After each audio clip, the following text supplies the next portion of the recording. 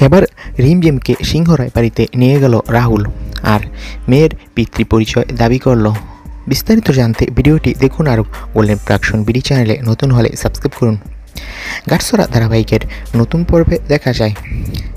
পাড়ার সব গরিব বাচ্চাদের ভট্টাচার্য বাড়িতে নিমন্ত্রণ করে খাওয়ায় খড়ি রাহুল।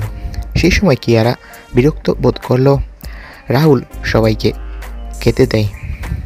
অন্যদিকে রিমঝিমের মা রাহুলকে দেখে রীতিমতো চমকে ওঠে। খড়ি রিমঝিমের মাকে ভিতরে আসতে বললেও সে সেখান থেকে চলে যায়, আর সামনে আমরা দেখতে পাবো।